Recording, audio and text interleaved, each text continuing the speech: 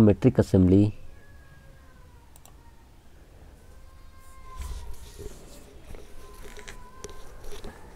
Then parts library. There is a parts library in the left side. Click on that parts library. Then go to where you have saved your folder. You choose the folder. Then you will choose all the parts created. First I will drag and drop the body part my body part is ready. Now on the body part there will be a nut will coming. Click the nut and choose drag and drop. Then first I will go for mate mate this bottom plate of the bottom plane and top plane. Then axis there are three constraints one mate one axis and one more is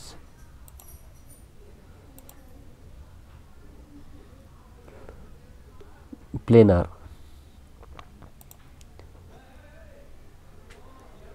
See there is a show reference plane here. Click show reference plane. Here show reference plane.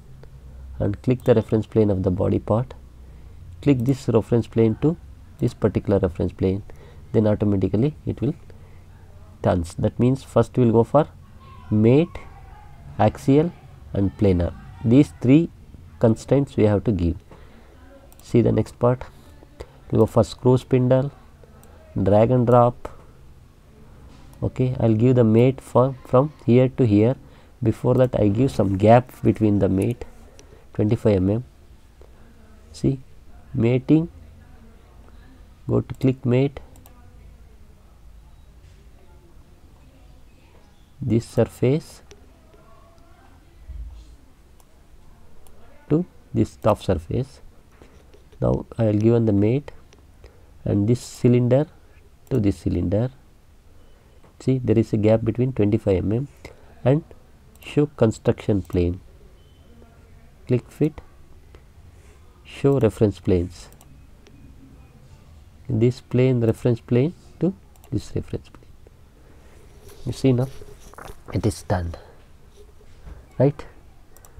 Now the cup. We'll go for cup drag and drop same thing. First i'll go for mate bottom reference plane top.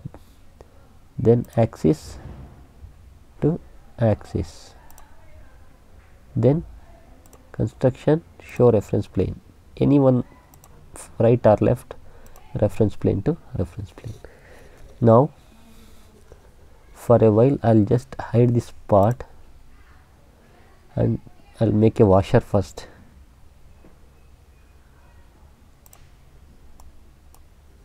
You want zoom?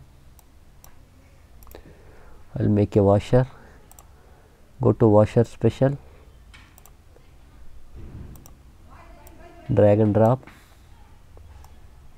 Bottom plane. Mate with this surface. Then axis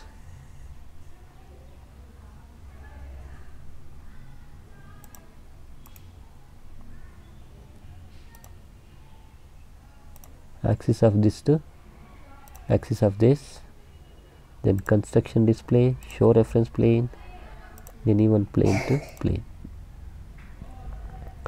Now we want to assemble the screw CSK screw CSK screw drag and drop axis to axis then top plane to top plane. Then reference plane to reference plane. See now we have to insert tommy bar.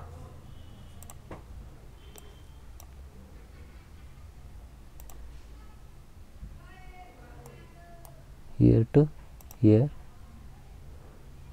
Just move and move and position it since it is no need to constrain for the tommy bar. No need to constrain for the tommy bar. Now see. My. Now save the part. Screw jack assembly.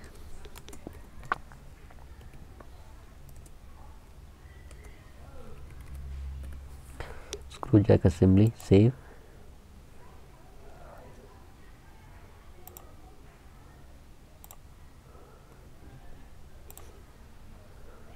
then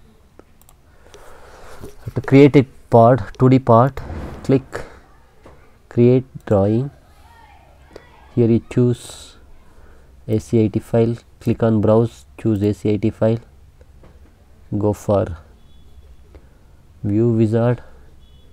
See there is a view wizard click on that view wizard choose front plane top isometric click place it can go for 1 is to 2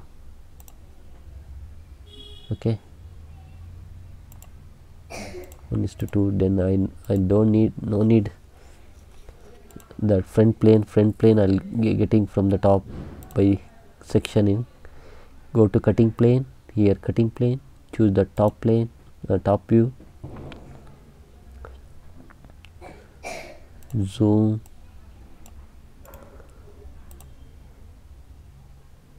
you want zoom it.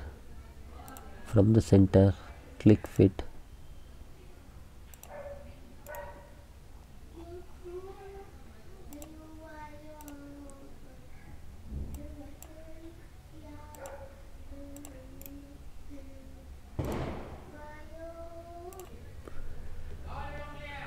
Then close cutting plane. Then show the arrow outside upside then go to section click on this section.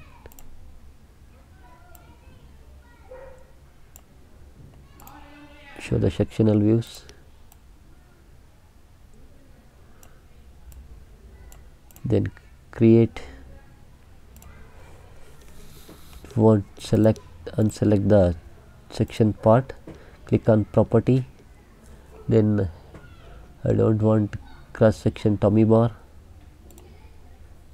remove section screw spindle remove section nut cap cup CSK screw remove section. Okay apply ok then click update views which are all the ports you are not supposed to sectioning. Update views. Then go to part list. Choose the view which you want to make a part list. Then go to properties. Column. Remove this author. Then add material. Then apply. Okay see? Uh, this is we are supposed to. If you don't want any count see there are number of part number and the count if you don't want count press control select all the lines unselect that count command. Click on this count choose then click fit then save. Screw 2d to take print